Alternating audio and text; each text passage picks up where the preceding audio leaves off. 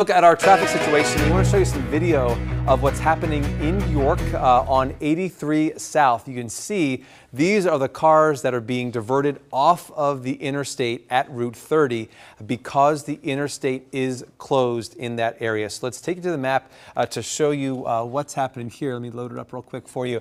Uh, we're looking at 83 South. This is between 30, which is just all video of, and Market Street the southbound lanes are shut down because of a multi-vehicle crash uh, where the coroner has been dispatched as well. So if you're heading southbound, look for another way around there if you're going toward York.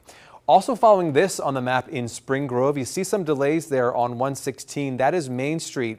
Between Railroad Street and Church Street, we have an accident with a vehicle and a building involved. So you can see there definitely are some first responders in that area, and that will affect your commute on Main Street. Here's a look at your South Bridge between Cumberland and Dauphin counties, and things are moving along just fine in that part of your commute.